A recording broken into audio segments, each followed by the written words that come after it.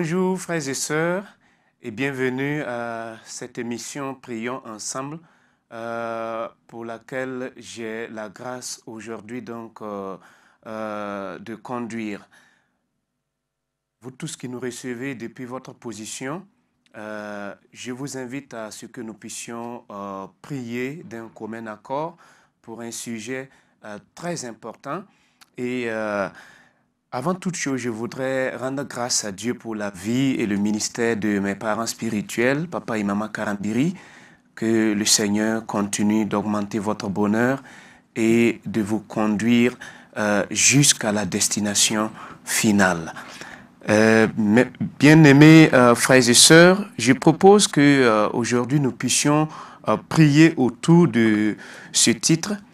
Pour l'amour de mon pays, je ne me point pour l'amour de mon pays, je ne me point. Et nous voyons pour commencer dans Ésaïe chapitre 62, le verset 1, où nous voyons clairement où il est écrit Pour l'amour de Sion, je ne me point. Pour l'amour de Jérusalem, je ne prendrai point de repos jusqu'à ce que son salut paraisse comme l'aurore et sa délivrance comme un flambeau qui s'allume. Amen. Donc, euh, aujourd'hui, nous n'allons pas nous donner du repos pour notre pays et, partout où tu te trouves, tu peux donc t'accorder avec nous pour prier pour ton pays. Et nous nous prions ici donc euh, pour notre cher pays, le Burkina Faso. Et la question que euh, j'aimerais poser, c'est pourquoi devons-nous prier pour notre pays?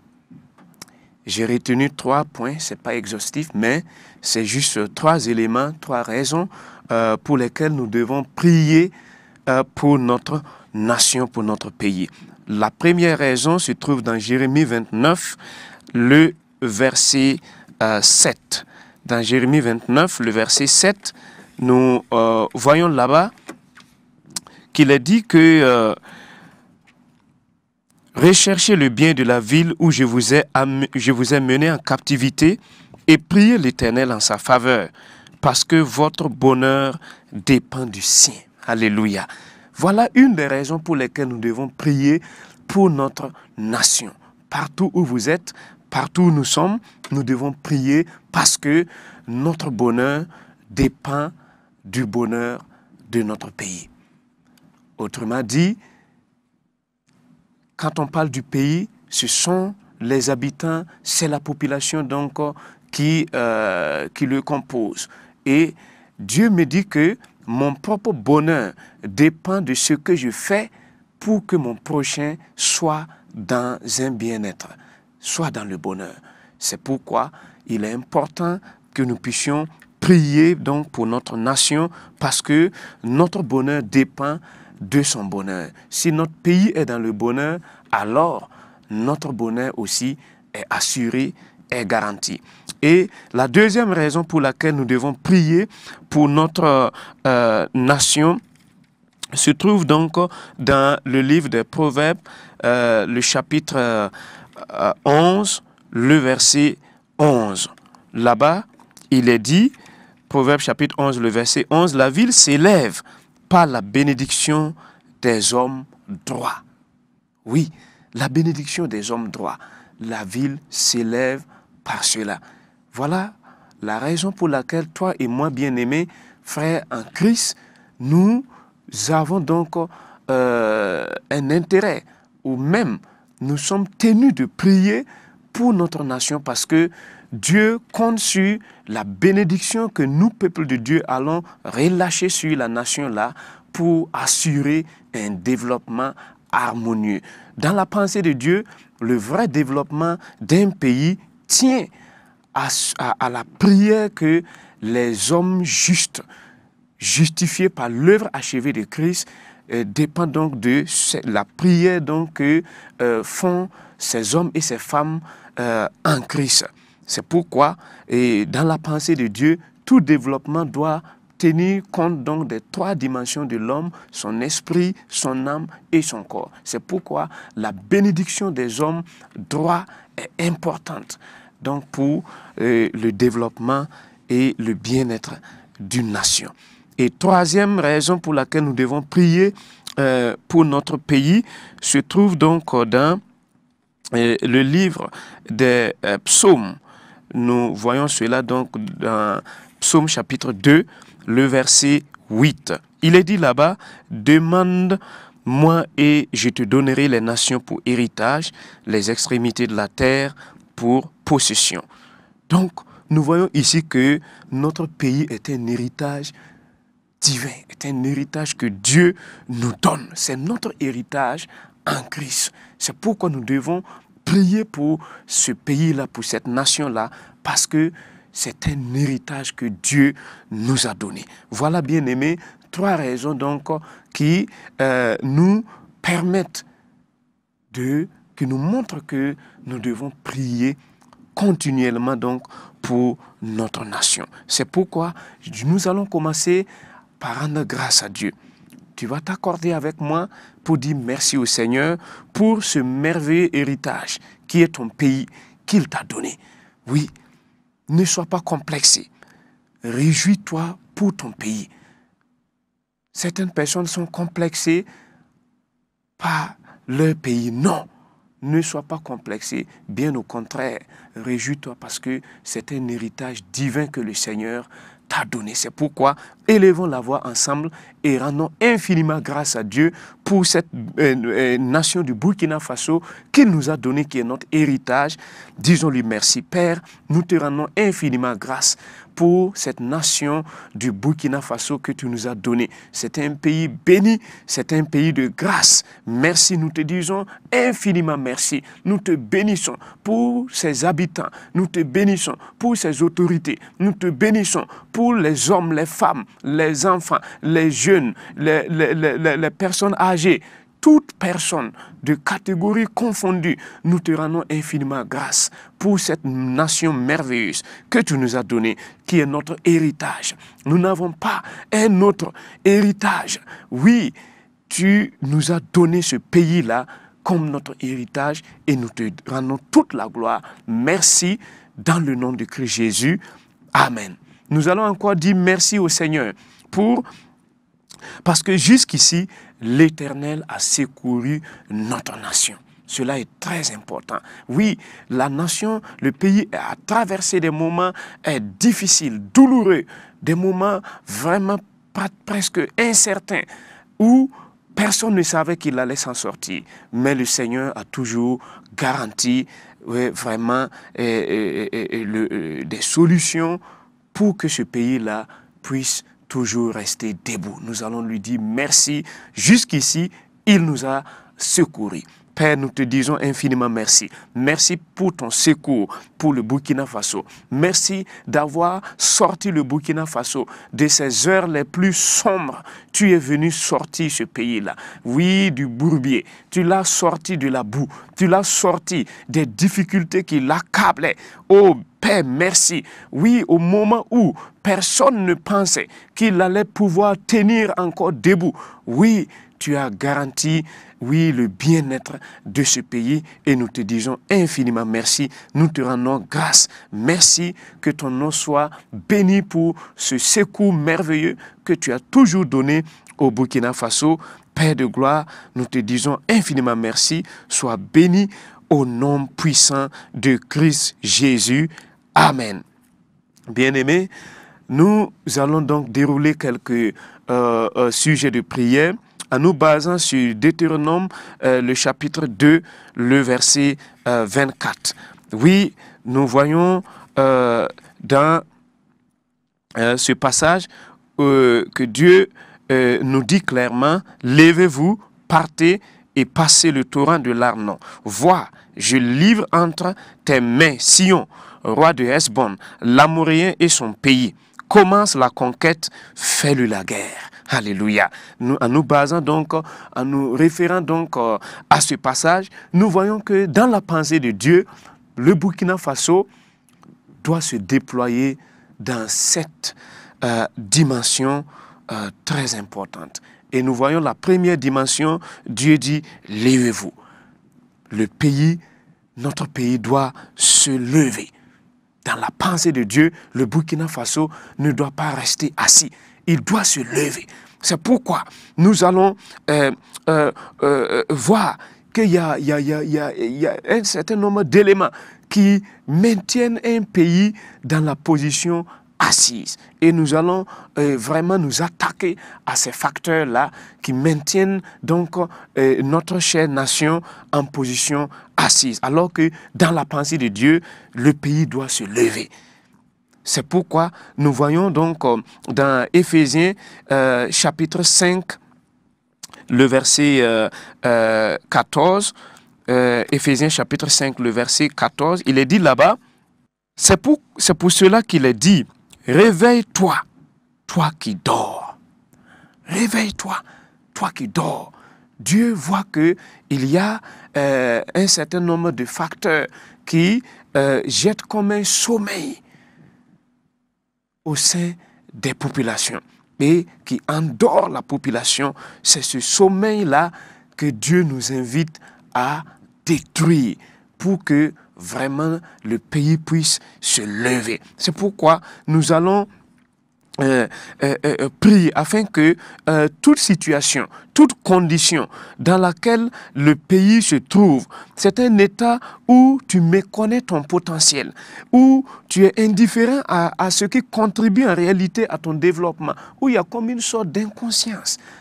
Nous allons prier et détruire, arrêter ce sommeil négatif-là qui maintient notre pays dans une position assise. Père de gloire, oui, dans ta volonté parfaite, tu veux que le Burkina Faso se tienne debout, se lève. C'est pourquoi, oui, tout sommeil, tu nous invites à nous lever de notre sommeil. C'est pourquoi tout facteur de sommeil qui endort les consciences, qui plonge les gens dans l'ignorance et qui les amène à méconnaître le potentiel qui est en eux, Ô Père de gloire, nous détruisons ce sommeil, ce sommeil euh, euh, satanique, ce sommeil euh, négatif, ce sommeil maléfique qui pèse sur bon nombre de personnes et qui empêche le pays de se lever. Oh, que ce sommeil-là, cette inconscience soit complètement détruite, que cette méconnaissance, oui, du potentiel que tu as mis en chacun de nous, en chaque personne qui constitue cette nation-là, que cette méconnaissance-là, cette ignorance-là parte au nom de Christ Jésus et que les habitants de partout où ils se trouvent, que chacun sorte du sommeil au nom de Christ Jésus et que, oui, le pays se mette debout parce que telle est ta volonté pour notre chère nation. Merci Père parce que cela est fait au nom de Christ Jésus. Amen. Bien-aimé, il y a encore un facteur qui peut maintenir un pays en position assise, alors que Dieu veut qu'il se lève. Et nous voyons dans le même passage que nous venons de lire, Ephésiens 5, 14, nous voyons la suite du verset, il est dit, relève-toi d'entre les morts. Alléluia. Et Christ t'éclairera. Il y a la mort, la mort est un facteur qui peut maintenir un pays en position assise. Et la mort, c'est un état où quelqu'un ou un pays... Euh, est comme condamné à rester définitivement dans une certaine mauvaise condition donnée. Oui, c'est comme si eh, le pays est condamné à rester dans telle ou telle ou telle condition, ou telle ou telle ou telle situation.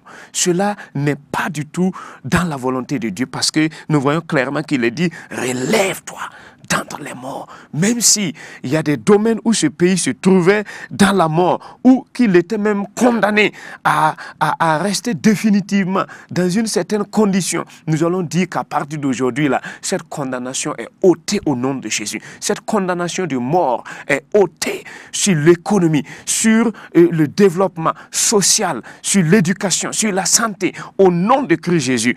Proclamons cela dans le nom de Christ Jésus. Père, nous prions aujourd'hui parce que ta volonté est que le pays, notre chère nation, le Burkina Faso, se lève se tienne debout. Et nous voyons, savons que la mort est un ennemi qui maintient les nations, oui, en position assise, ce qui les empêche de se lever. C'est pourquoi toute situation de condamnation où le pays est comme condamné à demeurer dans, une situation mauvaise ou négative, nous levons cette condamnation la puissance du sang de Jésus. Nous détruisons toute situation de mort dans laquelle le pays se trouve actuellement. Nous détruisons, oui, ce nuage lugubre, ce manteau satanique, ce manteau de mort jeté sur la nation. Nous détruisons cela, toute situation de condamnation qui est comme irréversible. Nous détruisons cela par la puissance du sang de Jésus et nous déclarons que le pays, le Burkina Faso, sort, de cette mort au nom de Christ Jésus et toute situation qui était comme une situation de mort dans la nation reprend vie au nom puissant de Christ Jésus. Amen. Amen. Amen. Alléluia. Et toujours sur la base de notre passage de base, nous voyons que après que Dieu ait dit, levez-vous, il dit ensuite, il dit, partez. Oui, partir est très important. Est très important.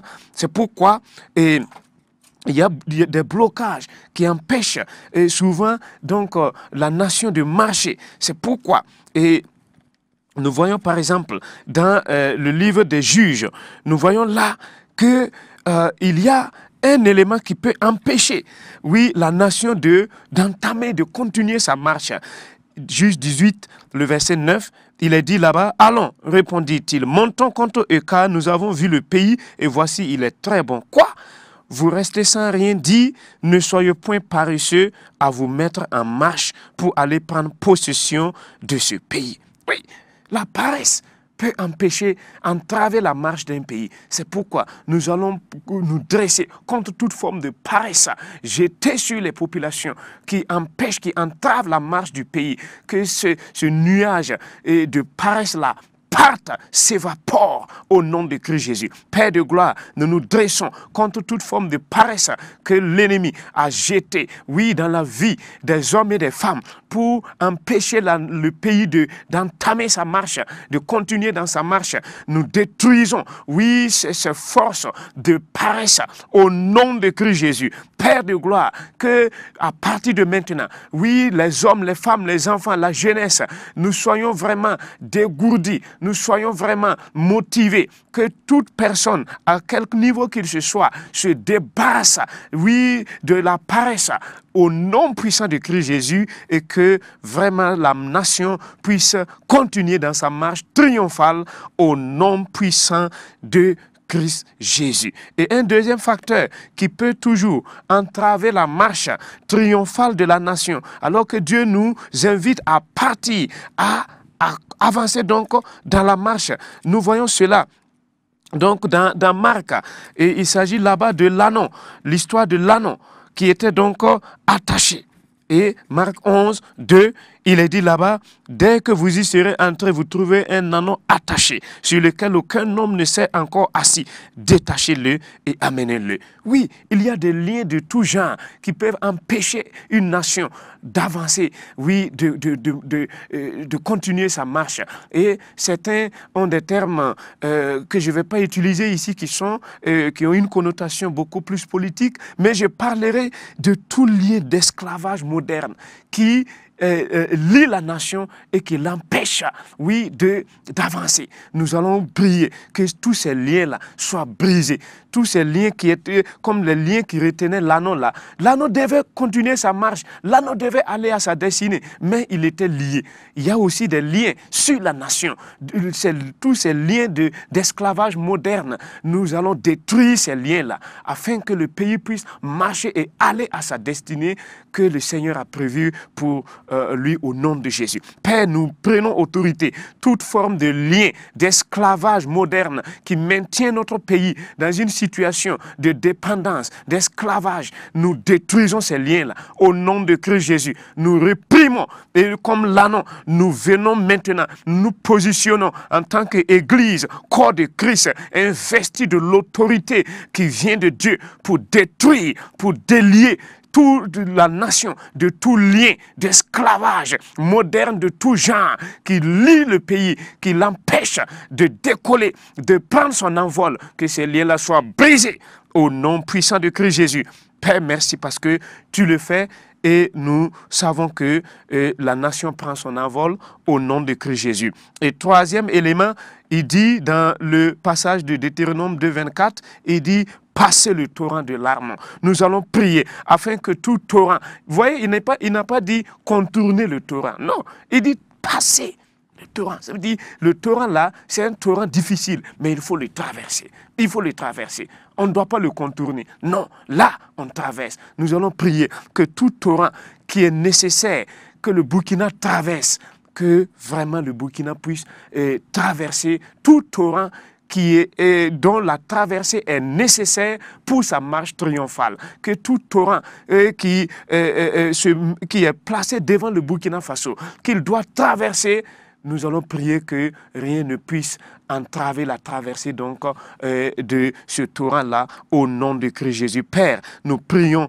que tout torrent oui, bien qu'il soit difficile, oui, s'il est nécessaire, si sa traversée est nécessaire pour l'accomplissement de la destinée du pays, nous proclamons que sa traversée est triomphale au nom puissant de Christ Jésus. Rien ne pourra empêcher le Burkina Faso, oui, de traverser triomphalement, oui, tout aura que tu as mis devant lui et dont la traversée est nécessaire au nom de Christ Jésus. Amen. Bien aimé, nous continuons. Et le quatrième élément, il dit vois. Là, c'est la bonne vision. Il faut avoir la bonne vision. C'est pourquoi il a demandé à Jérémie, que vois-tu? Jérémie a dit, je vois une branche d'amandier. C'est le signe de la renaissance. Alléluia. C'est la bonne vision. Et nous allons prier.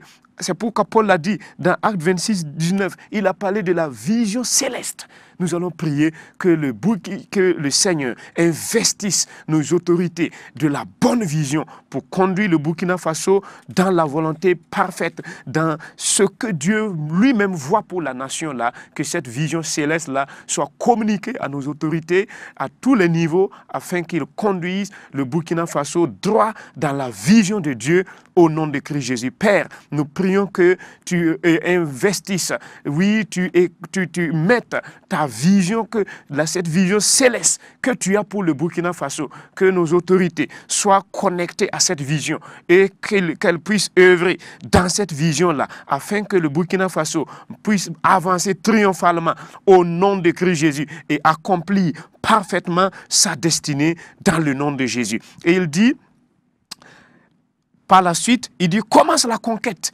Dit, commence la conquête. Ça veut dire que le Burkina doit commencer à récupérer tous les domaines, oui, de, pour son bien-être. C'est pourquoi nous allons prier, récupérer, oui, la paix, l'harmonie, la sécurité, l'unité, le développement véritable, la prospérité, la cohésion. Récupérons cela au nom de Christ Jésus, Père, nous nous dressons maintenant, nous venons maintenant parce que tu nous as donné l'autorisation de commencer la conquête pour le Burkina Faso. Oui, nous récupérons maintenant la paix pour le Burkina. Nous récupérons, oui, l'harmonie qui est un territoire de la destinée du Burkina. Nous récupérons la sécurité, l'unité. Nous récupérons le développement véritable. Nous récupérons la prospérité pour le Burkina. Nous récupérons la cohésion pour le Burkina, car cela, tout cela donc fait partie de l'héritage du Burkina Faso. Père de grâce, merci parce que cela est fait dans le nom puissant de Christ Jésus et le Burkina récupère toutes les portions de son territoire, récupère tout ce qui, tout ce que Dieu lui a donné, qui entre donc dans le cadre de son bien-être. Nous récupérons cela pour notre nation au nom puissant de Christ Jésus. Et il dit pour terminer, fais-lui la guerre. Oui, fais-lui la guerre. C'est pourquoi dans Zacharie 1, 18 à 21, nous n'avons pas le temps de lire là-bas. Il est question donc de quatre cornes qui sont des cornes terribles qui s'attaquent et au pays qui s'attaque, qui disperse donc euh, la nation. Et, j'ai nommé ces quatre cornes-là. L'une, c'est la corne de la violence gratuite. L'autre, c'est la corne de la division, la corne de la pauvreté, la corne de l'esclavage moderne. Voici quatre cornes qui dispersent beaucoup de choses au sein du Burkina Faso. C'est pourquoi Dieu a mandaté des forgerons que nous sommes oui, ces forgerons-là sont des anges qui vont détruire. Et c'est par notre prière que Dieu va déployer ces anges-là pour détruire, oui, ces, quatre cornes-là pour les abattre. C'est pourquoi prenons autorité maintenant et détruisons, abattons toute corne qui s'est dressée contre le Burkina Faso, soit abattue au nom de Christ Jésus. Père de grâce, nous élevons maintenant, nous nous levons comme ces quatre forgerons dont tu parles, oui, pour dire que toute corne de violence gratuite levée contre le Burkina Faso, nous la battons au nom de Christ Jésus. Toute corne de division levée contre le Burkina Faso, nous la battons au nom de Jésus. Corne de pauvreté levée contre le Burkina Faso, nous la battons au nom de Christ Jésus. Toute corne d'esclavage moderne dressée contre le Burkina Faso, nous abattons cette corne-là au nom puissant de Christ Jésus et nous déclarons, parce que tu nous as donné des cornes d'airain, oui, par l'œuvre achevée de Christ, nous abattons toute corne qui s'est dressée contre le Burkina Faso et nous déclarons que cette nation est libérée de tout, de tout jour, tout jour qui le contrôlait est brisé au nom puissant de Christ Jésus.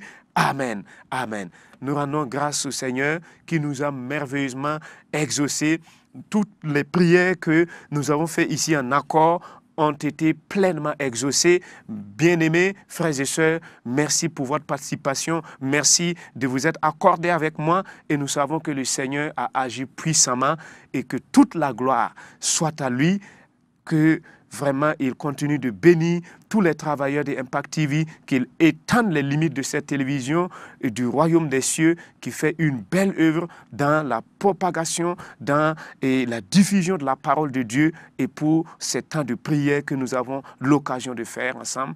Bien-aimés, que le Seigneur continue de vous bénir et à la prochaine.